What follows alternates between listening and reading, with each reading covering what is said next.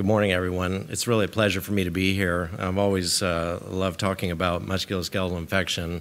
It's really been quite an evolution in our experience at uh, uh, Children's Medical Center. I'm uh, employed by Scottish Rite Hospital and uh, faculty at UT Southwestern, and then, of course, my full-time practice is at Children's. So um, today, I'm just going to briefly review our evolution of our program because I think within the history, there's a lot of insight as to how we got here uh, and where we need to go next.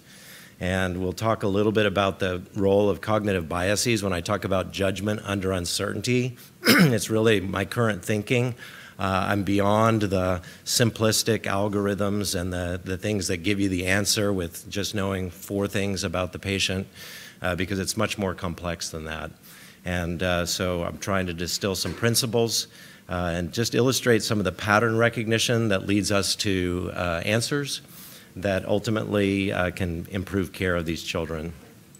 So this is a timeline of our progression, and I'll go into a little bit more detail first as I tell you about our program. But when I got here in 2003, I immediately saw how much infection there was within our community.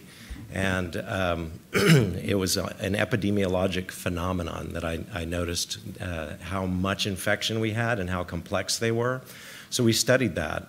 And when we, when we did, we realized how challenging the care was. So we assembled a multidisciplinary stakeholder team that decided we could do better. So we wrote our own guidelines. Uh, then that was in uh, 2005 to 2007. Did an extensive literature review of over 9,000 abstracts to try and help distill the most relevant evidence that's actually in the literature. And then we put those guidelines into practice for one year uh, just to see the impact of that. And uh, that led to uh, a new program that we developed, which was in anticipation of the Joint Commission Disease-Specific Care certification. So we worked on that for a couple of years, and when we put it in place, we recognized that we really needed to bring the families right into the process that we do. We call it patient and family-centered care. And we've been practicing like that since July 1st of 2012. Along the way, we've been certified three times by the Joint Commission. Uh, we've also have uh, credit that providers uh, receive for caring for the children with us, including all of the subspecialties, first the pediatricians through the ABP MOC program, and then we expanded to the American Board of Medical Subspecialties. we participate in the, on the national level with the Pediatric Infectious Disease Society and the Infectious Disease Society of America in a national bone and joint infection guideline development process We've been working on these for seven years. It's been very challenging, but they'll probably be published in the next year. And then uh, Cortices is actually a group of pediatric orthopedic PIs at 18 centers, 18 tertiary pediatric medical centers. And so we've started to participate in that, and that's really starting to lead us to the future, which I believe is going to be done through prospective multi-center research. Here's what the Cortices uh, uh, footprint looks like and it's a very exciting opportunity. That group was initially assembled to study trauma. it was a it was a trauma group, and they uh, the first conversation they had in their meeting was uh, one of the most interesting things we see when we cover trauma call is infection, because the trauma stuff is fairly algorithmic and straightforward. The infection is so complex and the workflows are so disorganized that we really need to study that first. And so uh, that's what uh, led to that. Uh, so to, just to dive into a little more of the details of what uh, led to our um, interest and the processes that have grown at Children's. Um, there was a historic study done at uh, Children's by Mary Anne Jackson and John Nelson that showed the relative incidence of bone and joint infections in that hospital. And when I got there, we studied it again, and we realized there had been a 600% increase in just a 20-year period which was far uh, more than the population growth in that time window. And so we saw how many infections had occurred, but what we really discovered as we dove into the details is that the care at our institution was literally all over the map. These children were being admitted to 10 different hospital units on six different services to 60 different admitting physicians. 554 children were hospitalized 591 times, and I call that time period every child for themselves because care was definitely done on a case-by-case basis. It was very random. As you read the chart, you just couldn't uh, really believe uh, the antibiotic combinations and the changes. Uh, this is the list of antibiotics that were used just to treat osteomyelitis. There were about 200 cases of osteomyelitis in that three-year period and there are 33 different antibiotics on this list. And the frequency distributions of the most commonly used ones, that didn't make uh, sense on the merit of the bacteria that we grew in isolation from those cases. There were no cases of clindamycin resistance at that time, and we had enough MRSA to need to cover it empirically. But the drug of choice we should have used at the outset of care in all types of musculoskeletal infection, but particularly for osteomyelitis, should have been clindamycin, but we were only using it empirically 12.9% of the time. And by the time we finally figured it out, which might be three or four days into the hospitalization, we were probably on the wrong drug altogether. And vancomycin is not a good drug to use for osteomyelitis because it's too large of a molecule to get into bone, and it doesn't kill intracellular organisms. So it's, uh, but we were using it like it, it was uh, highly effective. So when you deal with a large organization, it's kind of like being in a grain silo. Every, every service has its own workflows, its own processes of care, and you just pass these children from one silo to the next, and then it's as if we're starting over again. So uh, that recognition uh, allowed us to see we were taking two and a half days on average to get an MRI scan of these kids after admission. And uh, the MRI was often necessary to really know what we were treating and then to proceed with the correct uh, next step, which often included surgery. We kept kids in the hospital for almost 13 days with osteomyelitis, and once they left, 11% of them came back in for another admission.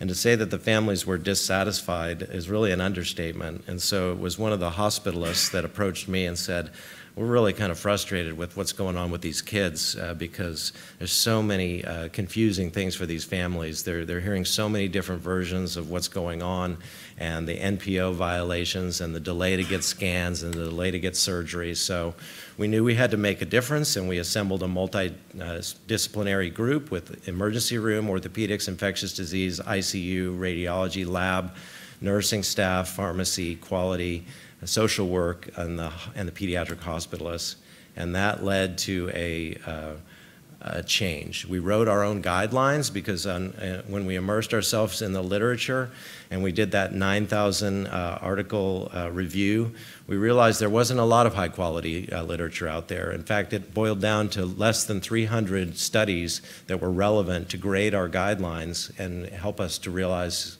we are actually applying these correctly. Um, but we, it was experience that really drove the guideline uh, development. We knew that much of this wasn't rocket science. It was basically just common sense. We knew that 33 antibiotics and vancomycin were not the right choice. And so uh, we also improved the process of where these children went within the hospital. So when we implemented the guidelines in 2009, they only went to two hospital units, to two admitting service services, and we had daily team huddles, but it just involved the providers, the nurse, the physicians, and the research team, uh, and the, the, social worker. And uh, by putting those into place, we made a, quick change. It was low-hanging fruit. We cut the MRI scan delay to less than a day. We improved the appropriate use of empiric antibiotics uh, to 85.2 percent and uh, improve the uh, acquisition of blood cultures before giving antibiotics, and cut the length of stay by about three days, cut the readmission rate in half. so fast forward to where we are now, we recognize one of the key components we were missing in this whole process was the family being right in the conference room with us. So now uh, we have only one hospital unit that we admit the children to. It's one admitting service. We have daily family-centered care rounds. We bring the patient, the family whenever possible, uh, the nurse, the charge nurse, the care coordinator, the physical therapist, orthopedics, uh, pediatrics all together in one room. Nothing makes more of an impression on how important these families are to us than us sitting around the table all focused on them. We have the uh, chart open. We show them everything, the labs, the uh, culture results, the MRI findings. And this is our basic workflow. it's what allows us to accelerate the correct uh, decision making about whether we should get an MRI or not. Once we decide we're going to get one on that same day, We are uh, present at the time when the scan is done so I can guide the anesthesia team as well as the MRI tech to get the correct image sequences, and then we're making a decision whether the child needs surgery or not. We've posted them to the operating room just in case, and then we take them under continued anesthesia right to the operating room and do the procedure that we uh, believe is indicated on the merit of the clinical presentation. Traditional MRIs are obtained, uh, usually done with and without contrast with multiple sequences. I know because we used to do it this way. We thought that contrast was necessary so we could see these obvious abscesses and that would guide us to the surgical decision making. This scan was done at our center and it took uh, two hours and was 10 sequences done with and without contrast. Well, there's some controversy about the continued use of contrast at the rate in which we were using it. We used it in nearly 100% of scans leading up to uh, 2012. And uh, so we decided we would uh, implement a better way of doing things by uh, the process I just outlined to you. And in a six-year period, we evaluated over 1,800 children who were suspected to have musculoskeletal infection, but we only obtained scans in about 28% of those. And as the study progressed in two-year increments from an initial, middle to final period, we cut the rate of obtaining MRIs because we decided we could learn a lot more about the patient by just good old-fashioned history, physical examination, basic review of radiology studies prior to MRI, and, and lab values. Uh, we increased the percentage of scans that in retrospective review, we said this scan was actually indicated because we were getting about 20% of scans that weren't indicated. And in the last time period, we were cutting that to about 7%. And we reduced the amount of sedation being used. As we got more efficient, we shortened the scan duration, so we needed to sedate fewer children. There is a rate of negative MRIs. We certainly see kids that come in looking like, I believe this is probably a musculoskeletal infection. They have focal physical findings, they have impressive laboratory elevation, they have fever. And so almost all of these negative scans were indicated studies. Uh, we really believed that that was the right way of evaluating it. So this is where the real magic happened. We reduced the number of body areas being scanned, the number of sequences per scan, the scan duration, the anesthesia duration, and ultimately the percentage of contrast being used. but beyond that, it forced us to change our guideline. We were ordering these scans with and without contrast just habitually. It was in our guideline. And so in the last six months of the study, we changed our guideline and we notified all of our stakeholders that we would no longer order these scans with, with and without contrast. And in doing so, we um, ended up only scan, uh, using contrast in 8.5% of those patients. And those scans took 24 minutes or, or around there on average, and only about four sequences. So I believe that these are really the only indications for MRI in a child who's suspected to have musculoskeletal infection. Whenever we have a clinical suspicion of a bone or muscle infection, whether it's isolated or with contiguous infections like septic arthritis or abscess, then it's appropriate to get an MRI. And it allows us to establish the anatomic and spatial orientation of the infection and, and assess for things that might indicate surgery. And then whenever there's an uncertain clinical picture in which musculoskeletal infection is definitely in the differential diagnosis, when you see elevated inflammatory markers, fever, focal physical findings, and you're considering whether other things might be possible, then that's a good choice to, to get a scan. So the ideal MRI protocol that we follow now, we order them without contrast, and we just get three key sequences. It's always done bilateral if it's the pelvis or lower extremities. Upper extremities we still do unilaterally. We, do, we start with an extended field of view uh, coronal stir. Takes about five minutes. Looks like this. This is a four-year-old female with proximal leg tenderness. I thought on exam maybe it was the proximal tibia, and thinking in advance that it was probably osteomyelitis. She had elevated inflammatory markers and fever, uh, and, and, as it turned out on this extended field of view coronal uh, stir, it was the proximal fibula that was affected. And then we follow that up with the same extended field of view T1, allows us to see the bone marrow well, and you can see the modeling of the proximal fibular uh, uh, metaphysis. And then we only get the uh, axial stir over the area of interest. And where we were really interested was whether there was an abscess that might need surgery up here. And so you can see the periosteum distended and the fluid underneath there. And because of the clinical history and the presentation, there's not really a question as to what that fluid is. So I don't need to give contrast to see it look different because I know very obviously what it will be. And so this scan took 13 minutes. And we took that child immediately to the operating room after the scan and did that procedure.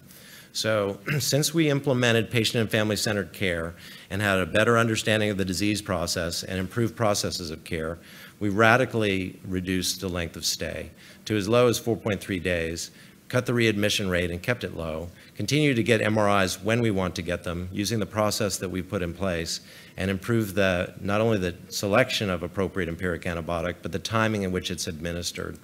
So Families like this program. uh, in 2013, we started administering the NRC Picker Satisfaction Survey. And in the past few years, we have continued to improve the percentage of families who overall think that the hospital care was exceptional. And uh, that's a marked difference than where we started.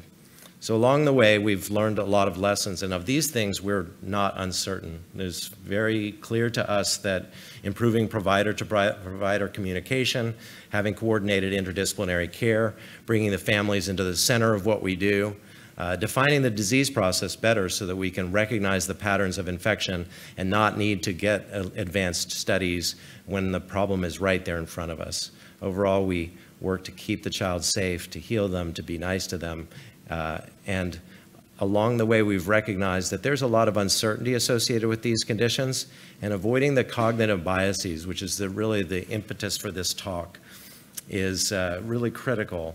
And so it's become uh, more clear to me that that is the next uh, generation. That's the higher hanging fruit of what we need to do to study these conditions and the related conditions that come in looking like them. So exceptional care is executed through deliberate workflows and processes which are done systematically through a team approach. Experience has allowed us to distill some principles which I'm going to share with you, which I believe are the foundations for best practice. And then uh, our thorough literature review that we've done, not only with our own guideline development, but now on the national scale. We've looked through all of this literature. We realize that there are some profound gaps in knowledge and the next generation of research really needs to be done uh, in a very different manner. So judgment under uncertainty, this is the next horizon in musculoskeletal infection discovery. This is definitely chess, not checkers, and we have to embrace this uncertainty. If we, over, if we accept models that oversimplify the question and allow us to get to answers before we really should be deriving them, then we'll be lost. Uh, and as, we, as I see quite commonly in my, in my active practice, so the probabilistic thinking, that's necessary. Deterministic thinking is an example of using things like uh, the Kocher criteria and applying it uh, at large to almost every child who comes in with an isolated hip effusion that looks like it might be septic arthritis or not. And so the, those criteria are intended to give a helpful uh, guidance, but they're often used as making a decision and we shouldn't use them that way. So this is really the highest hanging fruit. Uh, we, I think, have exposed all of the low hanging fruit in our processes. And we'd like this to be easier than it is, uh, but embracing the fact that it's, it's just not going to be easy. And understanding that and understanding the uncertainty involved really will make a difference. So the case for uncertainty, I see a lot of diverse pathology that comes in looking like infection, but it's not. And yet the initial impression of everyone is that this could be, and that's not a bad starting point, but recognizing that it certainly may not be, and, and pursuing the final answer until we re reach it, I think that's an appro appropriate approach. There's a wide spectrum of disease or illness severity for children who we know have certain conditions. for example, osteomyelitis ranges from life-threatening in the ICU, on pressors, um, and requiring multiple surgeries to a simple bone infection that requires no intervention, can be hospitalized for just a couple of days. So with that wide spectrum of disease, there comes a lot of uncertainty in the best approach to manage the spectrum. And then the deterministic approach, which it's based on clinical prediction rules or algorithms, and that leads to inaccuracy and delayed diagnosis. I'll show you some examples. a lack of a unified theory of disease, and this is where the literature needs to really be careful, and uh, a data dictionary. So I see a lot of studies about septic arthritis that include cases very obviously that are children with osteomyelitis and contiguous septic arthritis. And it's very misleading because they are not the same condition. Uh, septic arthritis has a lot of things that differentiate it if it's an isolated condition uh, from those children who have bone infections with adjacent joint infections. So the accumulation of experience is lacking at most centers. I know it was at ours when we had all of those different uh, participants of care and the 10 different hospital units and the six different services and all the different admitting physicians. And what you get then is a lot of people that have a little bit of exposure to things, and they never see those profound lessons that become very obvious to us over time. And so rotating coverage of services and limited desire of ownership of these cases that are just a little bit too complex, and we'd rather have something simpler. Here's an example of a two-year-old girl that woke up from a nap. She had left hip pain. She didn't want to walk. She had a normal C-reactive protein, a normal sedimentation rate.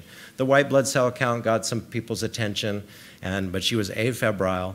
She had a hip effusion, which was clearly seen on the ultrasound, um, and so uh, when we talked about it in the morning, uh, one of my partners and the fellow on service said, what are you going to do for this child? And I said, well, I'm going to go examine her first because I was just hearing the story. And I said, but if I'm concerned, if I develop a sense of worry about her, I'm going to aspirate this hip. And they said, why would you aspirate transient synovitis? Because this is transient synovitis, right? It only has one of the Kocher criteria, which is the elevated white blood cell count. And I said, well, I said, I don't, I don't use the Kocher criteria in that way. I said, first of all, I'm worried because of the age group. So transient synovitis is a three to nine year uh, phenomenon, and I see uh, some innocuous cases of septic arthritis in this age group that are due to a bacteria that is relatively indolent in presentation, and that is Kingella kingae.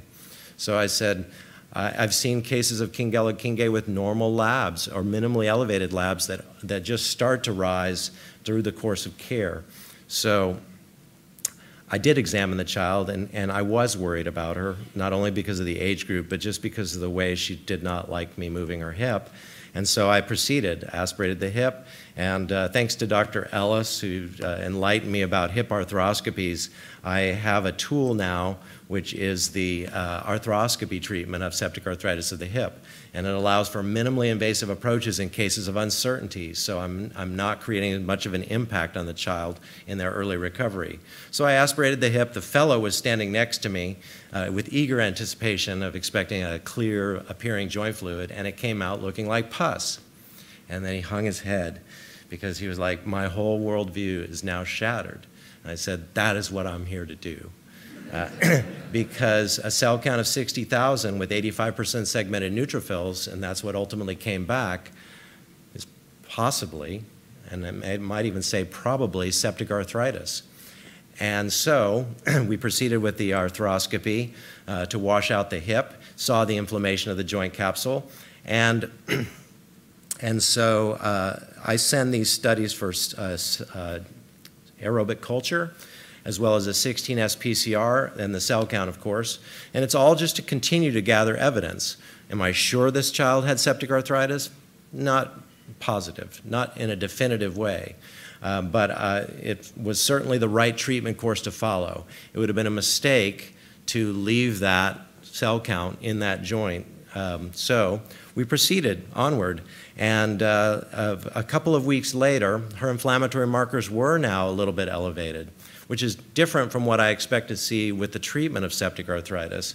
So I always think about having a wider net and consider other conditions. and so then she started to materialize some other joints that started bothering her, her jaw, her other elbow, and uh, the knee on the affected side. And so we started asking the question, could this be an inflammatory arthritis? I've also occasionally seen post-streptococcal reactive arthritis present like this. And so, as it turned out, she was ultimately diagnosed with juvenile idiopathic arthritis and seen by the rheumatologist. Now, if you know uh, some uh, pediatric rheumatologists, if you ever say, hey, I have this uh, cute little kiddo, and they have a single hip joint uh, inflamed, uh, would you like to see them? you might hear the word never come up because I, I, know one very experienced rheumatologist who would say this is never the initial presentation of juvenile idiopathic arthritis. But I've seen four cases in which it was. So it just shows some of the uncertainty that we deal with and how the better systematic approach, which is what we followed with that child, can lead us to a better place. So in the past seven years, we've done over 2,800 evaluations for children with confirmed deep infections, some abscesses that we continue to drain in the operating room, but we, we have far fewer. But the interesting part of this slide is the all the other things. In 1,778 cases, that's two-thirds of what I see in my practice are suspected to have musculoskeletal infection, but play out to be other things. This is an eye chart, I realize, but it just demonstrates the magnitude of what those other things might be. And if you have the mindset of it's either going to be transient synovitis or septic arthritis, you will be misled. and so other types of bacterial infections that aren't of the musculoskeletal uh, system, viral processes, neoplastic and hematologic disorders, inflammatory and immunologic processes, congenital, developmental, and acquired orthopedic conditions, fractures or injury can occasionally present looking like infection, and then otherwise uh, not specified symptoms, which are usually viral processes. They run a self-limited course and go away. I recently had a 10-month-old boy who had been seen in the emergency room, had a knee effusion that was pretty impressive and minimally elevated labs. And he was diagnosed with transient synovitis of the knee and sent to see me in my clinic. And the, for some reason, there was a delay. It took about three weeks for him to come in and finally see me. At that point, he still had a very large knee effusion and a very tense knee effusion, and I, he didn't want me to move his knee at all. But his CRP was still less than 0.29. His SED rate had only gone from about 10 to 13 in that entire time. And in my mind, because of this process and the systematic approach, I simply asked the family one question. And I can't tell you uh, the intuition that led me to that question. Uh, and they were a Spanish speaking family. And I said, Does he uh, bleed or bruise easily. And uh, they were shocked with the interpreter and said, no, why would you have thought to ask that question? And they said, yes, he does. And he, it was his first uh, diagnosis of hemophilia. And so uh, the systematic approach leads us only so far. Ultimately, we do have to use intuition. Um, of those other conditions, 230 of these required more urgent evaluation by subspecialties. You can see some interesting uh, diagnoses on there, leukemia, Ewing sarcoma, rheumatic fever, uh, and other uh, neoplastic processes. Uh, and so I think that this uh, systematic approach that we have is leading to get to these answers much more early than if we allow these patients to just play out through the system. If I took the approach of it's not us, it's not musculoskeletal infection, then there would be a lot of uh, lost children out there waiting for their diagnosis. So this is my wheelhouse where I reside, but there's a Venn diagram. There's a lot of overlapping conditions that uh, it's interesting because I think we largely get these into the correct buckets. Uh, but there is that area of uncertainty. So I, I call it the Olympics of uh, highly complex uh, condition evaluation.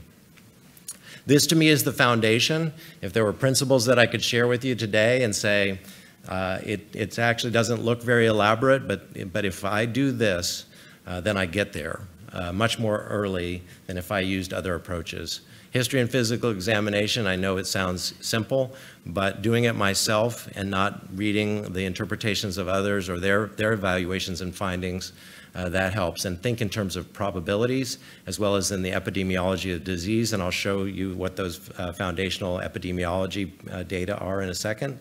Uh, CBC, CRP, SED rate with a differential on the CBC and a blood culture anytime there's a deep infection concern. For, X, for radiology, it's just plain X-ray of the symptomatic region and, and focusing on that area where the symptoms occurred. I see often laundry list of x-rays that get obtained from the pelvis down to the ankles and foot when, when the history has always been very focused. It was the knee, the knee, the knee. And maybe in some situations you do need to evaluate the hip with knee symptoms, but for the most part, we, we have a scattershot approach to evaluating these cases. And then this is where the intuition comes in, the pattern recognition. And a decision for admission. Am I really worried about this child? They look like they're tanking, it's sepsis. They go to the ICU. They get a, broad spectrum antibiotics and resuscitation. If I'm generally worried, I believe that inpatient evaluations in this multidisciplinary approach are the, are the best way. So they should be admitted and then continue to go through this evaluation in a systematic way within any institution, and certainly ours. And then if I'm not worried, I like to externalize those children from the hospital setting. I think we've avoided so many aspirations of transient synovitis in our practice because I've externalized those patients at the point of care. When I hear about them in the emergency room and I'm, I'm hearing everything that makes sense that this is probably transient synovitis, I like to have a quick second look in my outpatient clinic just to make sure that it's evolving along that path or that it's not been mislabeled like a 10-month-old with a knee or, or something like that. So that's very helpful. And then we can recover from that, even if it were something more uh, evolving, like a Kingella septic arthritis. And the decision for advanced imaging, well, that follows after all of that. And then we follow our process that I outlined. So I'm going to briefly go through some of the epidemiology things that I have in my mind about these disease processes because I think that if you understand these foundational elements, you're at a much better place to making those, those decisions. Bone infections come through the bloodstream. They're fairly unique to children and adolescents, and they involve the metaphyseal ends of long bones. There are a few equivalent sites, like the inferior pubic ramus of the pelvis, the posterior tuberosity of the calcaneus, the vertebral end plates of the spine, uh, that can be, behave like long bones. These are otherwise healthy children. They don't have an underlying immunologic compromise, and it's a minor trauma to the affected area that I can elicit out of the history in about 75% of those cases. And that's probably relevant to how the bacteria flow to that area immediately after the trauma, if there's a transient bacteremia, and then exit the bloodstream and go into that area. Currently in our practice, we're seeing about 60 to 70 cases a year. And so by physical examination and the basic review of the data, elevated inflammatory markers, fever, metaphyseal bone tenderness. They don't like it at all. And if you push further away from that area along the diaphysis, they don't like that either because of the pressure within the bone. So if I see erythema overlying that area and somebody's calling it cellulitis, and I push on the other side of the bone away from the erythema or more proximally on the diaphysis, and I sense that, yeah, this is possibly a bone infection bone infection. And the reasonable joint range of motion, they'll tolerate that pretty well. It's tender around that area, but they'll let you move the joint. And it's a Staph aureus disease. 91% uh, of culture positive cases are Staph aureus, and 39% of our cases are MRSA. bacteremia is present in 45% of the cases on the initial blood culture in our community. And the subsequent blood cultures are positive in 64% of those cases. So if you see bacteremia, you are thinking maybe this was cellulitis or some superficial infection. When I see bacteremia, it changes my way of thinking. I become more worried. And uh, this is a pattern recognition. When I see MRSA, septic pulmonary uh, or patchy infiltrates on the chest x-ray, markedly elevated inflammatory markers, and they go to the ICU, um, I'm thinking about a DVT. We treat these with antibiotics first by vein, then by mouth, three plus weeks. Uh, in the more severe cases, we're treating them for three and a half months uh, until their sed rate normalizes. And uh, the long-term outcomes from bone infections overall is pretty good. 92% are doing great. We followed them for two and a half years, uh, but we see about 8% of growth arrest, deformity, limb length inequality, osteonecrosis, and an interesting phenomenon of central physeal tenting uh, right next to the physis. This is what it looks like, these tiny little blips right in the center of the physis. But these kids have normal Harris growth arrest lines growing symmetrically away. They have no limb length inequality, and that's two and a half years after the fact. And we don't believe that that's a problem. Here are the severe sequelae of osteomyelitis, and there's not much that we really feel like we can do differently. Uh, these outcomes are largely driven by the severity of illness. We have a scoring system, and all of these kids had uh, 8 to 10 scores on a scale of uh, 0 to 10. And so this particular child at age 12 developed this severe infection, had five surgeries, and ultimately, six months after onset, uh, about four and a half months after leaving the hospital, had this pathologic fracture of the femoral neck and led to uh, this joint replacement surgery. So among our ICU admissions, just to show what we're largely dealing with, 59% of those have DVTs. They almost all have initial bacteremia with an average duration of bacteremia of 5.1 days and the record holder is 16 consecutive days of bacteremia. Um, our bone culture isolation rate is 100% in those cases. And now the, the pathogen flips. It becomes more predominantly MRSA with 71%. High severity of illness scores. Almost all these children require surgery and multiple surgeries per child. They stay in the hospital for about three weeks. We treat them with antibiotics for about three and a half months. High rate of readmission, but most of those don't have to do with residual or recurrent infection. And we get a lot of pathologic fractures based on the surgery. Septic arthritis is a joint space infection, comes through the bloodstream in otherwise healthy children. They have some minor trauma to the area, but not nearly as commonly, and these are usually younger children.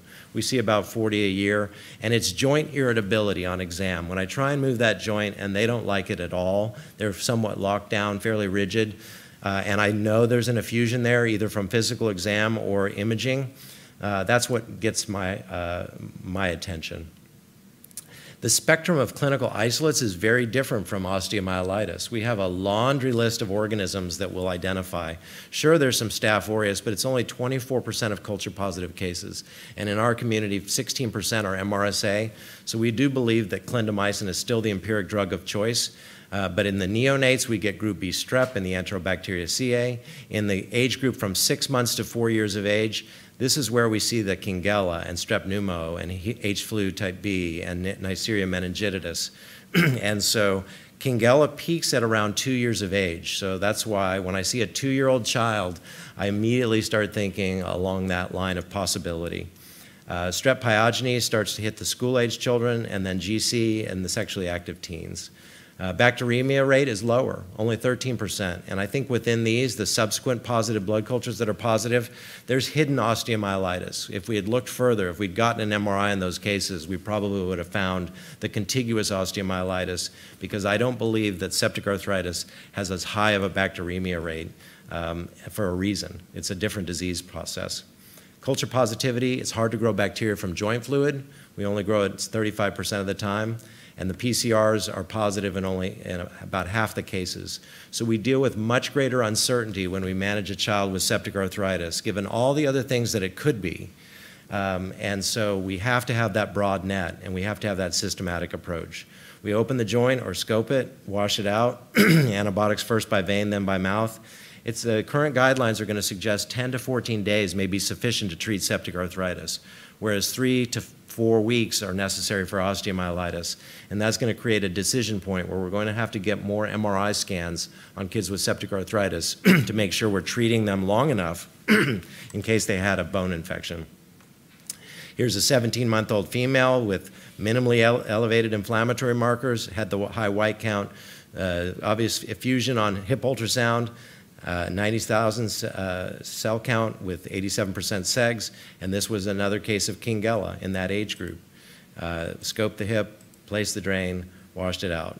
14-month-old female, this also was Kingella, and I was called uh, and told I have a case of uh, transient synovitis of the ankle in a 14-month-old, and, I, and they showed me the x-rays, and I could see the effusion, and we aspirated it then in the, in the ER.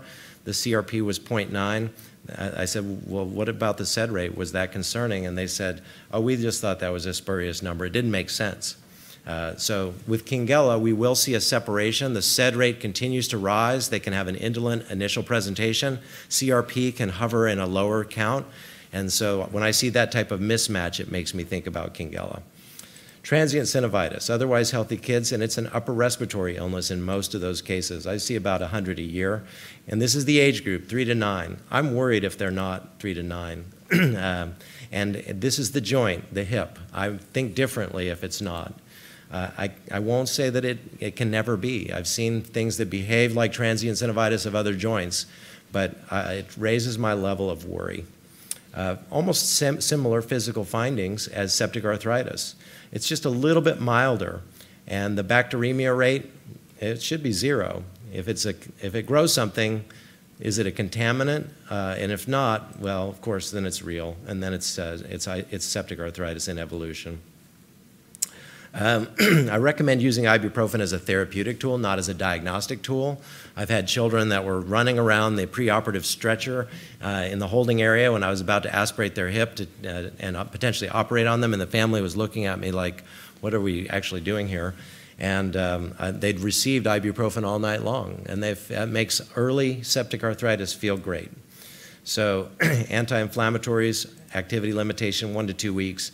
And I tell them that the true timeline is about four to six weeks for it to fully run its course and finally go away. That avoids a lot of concern. But if they're going on beyond that, I've seen cases of Perthes, JIA, post-streptococcal reactive arthritis, because I've followed them long enough if those families come back and they have a, another concern.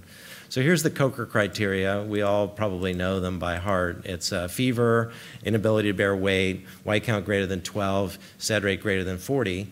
Uh, and then that created this incredible predictive probability scheme, which is intended to be, unfortunately, a, a, shortcut, a mental shortcut, a deterministic device. Is it septic arthritis or transient synovitis? And now I have my answer with four simple things. And the subsequent studies to validate those seem to suggest that. And then we had the CRP added, which gave this odds ratio to say if it, CRP is greater than two. The problem is that this doesn't work in clinical practice and not with all of the things that I see or do. So this is a deterministic approach. I use the parameters, I, I use those basic things, but I don't use those cutoffs. I, I keep a very open mind about the septic arthritis transient synovitis question. Pyomyositis, it's a muscle infection, otherwise healthy kids, preceded by minor trauma in a high percentage of those cases. We only get about 15 cases of primary pyomyositis a year. It's the muscle tenderness. It's usually fairly, you know, they're pointing to the middle component of their leg. They're pointing right to the muscle. When you relax the muscle length, they, their symptoms are better. When you stretch the muscle, then they don't like it and the joint movement on either end is fine. They don't have metaphyseal bone tenderness. And it's a Staph aureus disease, a lot of MRSA, group A beta hemolytic strep and, and the remainder. Uh, it's uh, low bacteremia rate, low subsequent positive blood culture rate, muscle tenderness, as I mentioned before.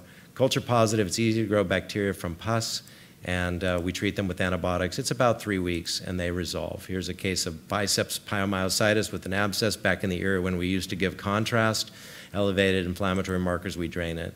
And then finally, the complex skin and skin structure infections. These do come through superficial local entry, abrasions, insect bites, scratches, uh, people trying to drain some kind of pustule with needles inserted into the subcutaneous area. Thousands of them out there.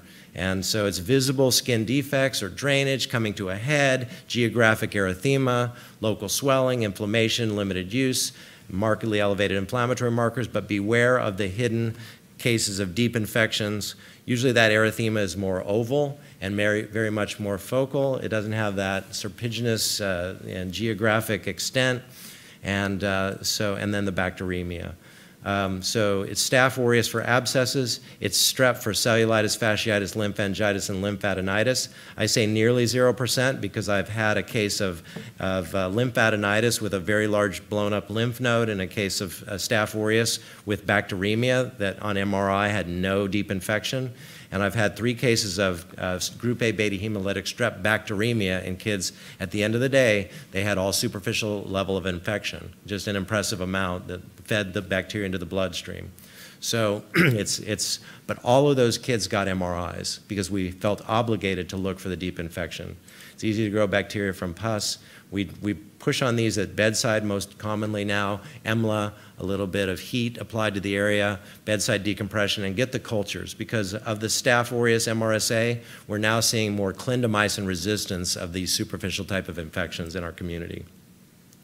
Necrotizing fasciitis is not common in children and adolescents. I've been in practice for 23 years. I've never seen a case in a child or adolescent. I'm sure that it may come one day, so I'm not saying it won't happen, but um, I'm not uh, expecting it anytime soon, just based on that track record. I've seen it in adults several times. It's a patient in extremis fighting for their life, going to the operating room urgently, being, having all their tissues dissected away, usually by general surgeons, and we're, we're there to say, yeah, it's probably going to end in an amputation. Um, and so antibiotics first by vein, then by mouth, 10 to 14 days. Often some of these can be interrupted even with just a straight oral course, and they do great. 13 year old that had a pustule on the back of her leg. It was ruptured with a needle sent for culture, and then they got a lot worse. These are MRIs that I don't think we should get, but this one was obtained. We had the history and physical, and then it was right there in front of us. It was still draining pus coming out of that uh, one point of entry. Um, so A lot of my thinking currently is guided by uh, these fine individuals, Danny Kahneman, Amos Tversky. It's really been in the past couple of years with all of this accumulation of data and experience that I'm, I'm focusing on judgment under uncertainty. A great book uh, by Michael Lewis, who wrote Moneyball, The Undoing Project, is about their relationship and, and the evolution of thought that led to their uh, Nobel Prize uh, winning uh, treatise in, the, in economics uh, about the heuristics and biases that guide us, and Daniel Kahneman's book, Thinking Fast and Slow. It really is all about having a systematic approach and being very deliberate and following very specific processes. And I think it does get us to answers, but we're not doing it in a deterministic way. We're doing it in a probabilistic way. This is Scott Hatteberg, who played catcher for the Boston Red Sox and lost his professional career due to, due to an ulnar nerve palsy that failed ulnar nerve transposition surgery. But uh, Billy Beane and some uh, quirky guy from Massachusetts who followed Kahneman's uh, uh thinking uh, developed a team, uh, and that was Hatteberg's walk-off home run against the Kansas City Royals for 20 consecutive games, which is the Moneyball story. So man is a deterministic device. We're thrown into this probabilistic universe, and we're faced with problems that probably have a statistically correct answer. Most humans don't think like that. And snap judgment and cognitive biases, I see this played out over and over again. Healthcare providers tend to focus what they're asked to pay attention to. I've seen kids get uh, referred to our fracture clinic with uh, you know marked swelling and erythema, and everyone is telling them, well, you're just not elevating it enough. You need to elevate it more, and then been sent out and gone to other hospitals where a large abscess was drained and osteomyelitis was discovered.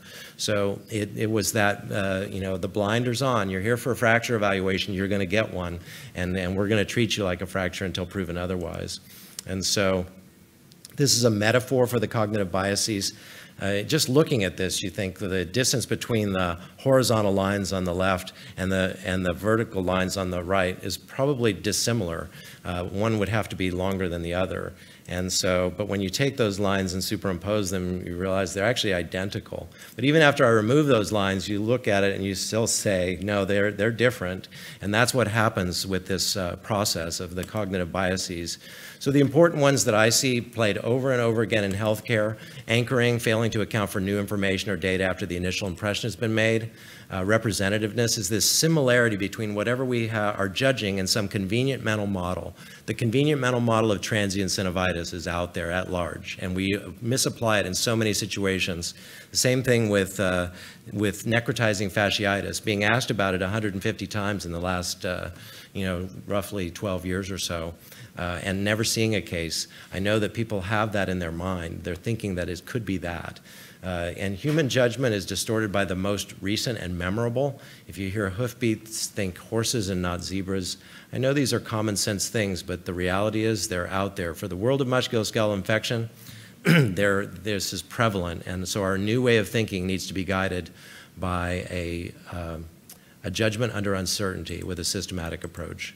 So keep an open mind, use a broad net, be inclusive of all realistic probabilities on the basis of epidemiology, the things, the basic framework that I showed you. Never say never or always when including or excluding conditions during the workup. Follow the systematic approach of information gathering, those basic foundational things that I shared with you today, and then avoid, uh, that, that will help you to review and avoid diagnostic delay or inaccuracy and think in a generalized manner of relative probabilities based on this local epidemiology of disease and pattern recognition, and avoid deterministic methods, simple algorithms that uh, give us the answer before we really should have it. And that's all I have. Thank you.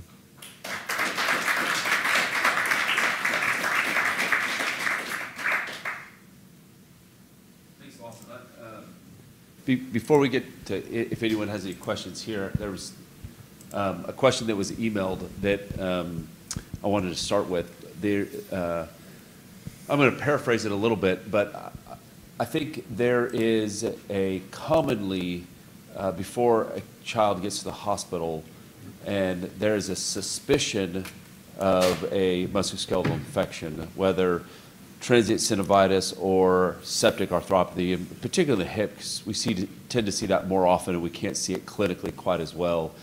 Um, could you just let us, I mean, at what time point, uh, could you just give us your thoughts based on your experience in the research that you've done, kind of from a pediatrician or, or a first provider standpoint, what, kind of brief algorithm would you recommend going through? And, and you had, and, and really leaning on imaging, because you had suggested uh, in your preliminary um, evaluation to really, clinical exam is important, but then x-rays are. Oftentimes, maybe sometimes we lean more towards an ultrasound first if we're suspecting hip pathology, but thought maybe you could comment on that preliminary algorithm. yes, I, you know, again, I think clarifying by listening carefully to the family and also the basic exam of which specific body area is the level of focus, and then the plain radiographs and assessing for, you know, effusions or any cortical or metaphyseal, you know, uh, involvement that might suggest there's a, a, you know, bone inflammation or neoplasm, something like that. I mean, it's the, uh, at least to get that much information in those basic labs. I think the basic labs, I see, I see a lot of elaborate labs that, you know, people will get, like ANA and rheumatoid factor and uh, the, the, starting with this, you know, the strep antibodies. I think all those things happen downstream. I think just the very basic C-reactive protein, sed rate, CBC with diff, um, and if, it, if you're concerned about a possible uh, deep infection, always get a blood culture with those initial labs. And that, those things are just very standardized in my mind. And then um, after you've done that basic evaluation, I think that's when intuition, you know, can kick in a little bit. Am I worried about this? You know, I think that uh, one study I read in the past was done in England, and, and they were trying to use some tools that would help differentiate septic arthritis from transient synovitis. And, and the thing that they found most uh, valuable was the uh, concern of an experienced provider. that, that was it. And so that, that, that's intuition and also experience on top of it. And, and I, so I, I do think intuition plays a role. That's fast, that's uh, system one thinking. And, and I use it uh, with every case. So if you're worried, then I think that's the child that needs to get escalated to the next level of care. If you're not worried, but, but there's still a little bit of uncertainty in there, I don't know exactly what this child has, but there's something in evolution, that's a perfect outpatient, you know, referral, you know, second look, having, uh, having us take a, a glance at them in that setting. Does anyone have any questions here? Because I have another question as well.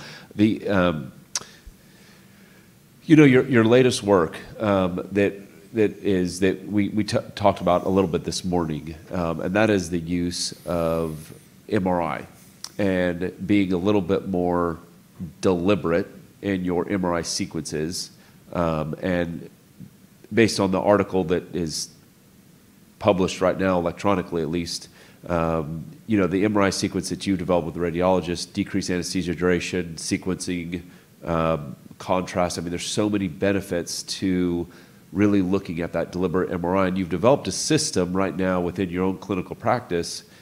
Um, is there, from a pediatrician or someone who works at another hospital system, is that now, is there now a published protocol that can be used for someone that doesn't have a specialty or perhaps a, um, a clinical practice that just deals in musculoskeletal infections that you can implement within your hospital system?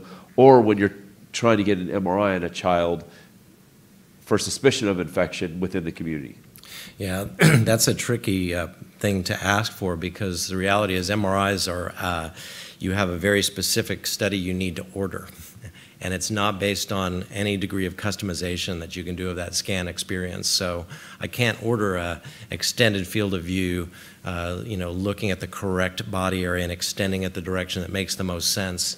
I have to order a pelvis or a femur or a knee or a tibia. You have to order it in a very specific way, and the decisions often need to be made in a vacuum, devoid of the conversation with the radiologist who's going to be executing the study. So that's the fragmented way in which it's done at large, and, if, and so I would say, uh, you know, a, a more ideal way is to wait on that scan. You know, I think some of it is used as a screening tool, as a shortcut I see MRIs ordered quite commonly as I don't know what you have, but I'm going to get an MRI and that's going to tell us what you have.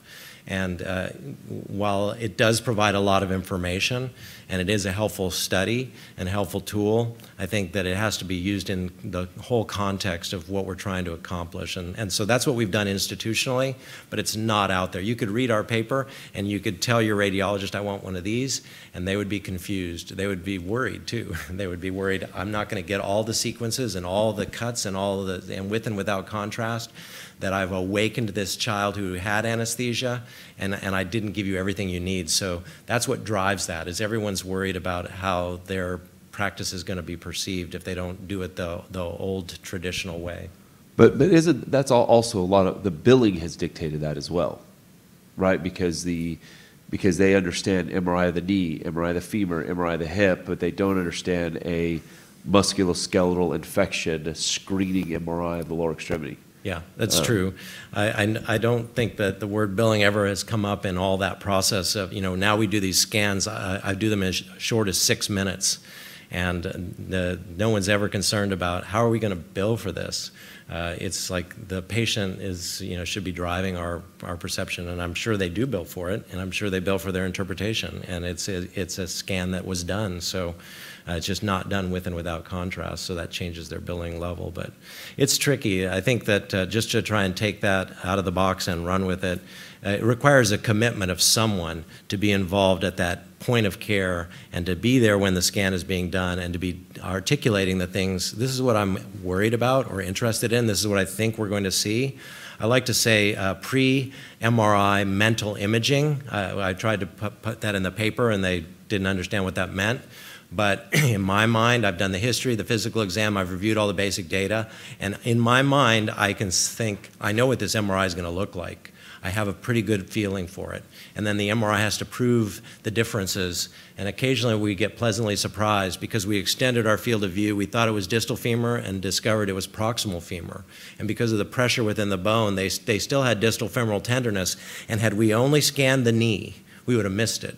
And so the, it's that, uh, why did I extend it proximally and not distally? Well, because I, am going within that segment of bone. And so that's a, that is a judgment process that I uh, utilize. And so uh, your results may vary. You know, if you try and utilize this, I know that even within our practice with 12 orthopedic surgeons covering trauma and infection when I'm not around, it, it differs substantially. And now we're trying to grapple with that. How do you, how do you make a more of a community-based approach of a thought process that is very complex. And it, it, in my mind, I, I'm trying to distill this into principles that others could apply. With uh, the other groups across, across the country, have you noticed the volume that you see here comparatively to what they're seeing? Is it pretty, are they pretty equivalent or? It varies regionally, and I, because I do think that these things are climate-based and it's uh, based on uh, temperature trends. Even seasonally, we have variation. And so, uh, but there is a substantial amount. So Cortices did a tier one study at 18 centers, and they had over 7,800 musculoskeletal infection evaluations done at all those centers. Uh, we happen to be one of the largest of the evaluations. And then the culture positivity rate of those evaluations was, it was about 2,500 cases. So, the, you know, similar uh, concept about uh, two out of every three ended up not being a culture positive identified infection. But that percentage differs substantially. Uh, we have one of the lowest rate of culture positive identifications because we have that broad net. We see all of these other things and we include that in our evaluations. And other centers, because the way the orthopedic surgeons practice, they're, they're basically telling the hospitalists, the infectious disease doctors, the emergency room doctors, call me when you know what it is. When it's like cut here you know aspirate this. So they have you know rates as high as 80% culture positivity at some centers. So I, there's enough um, uh, volume nationwide at each of the centers to make it a very interesting uh, idea to study the, these conditions in a multi-center way that starts to get to a different uh, paradigm to, to maybe minimize the thought processes that are out there, like the simple algorithmic approaches and the, the, the Kocher criteria. And so that's what we need to do next. Thank you.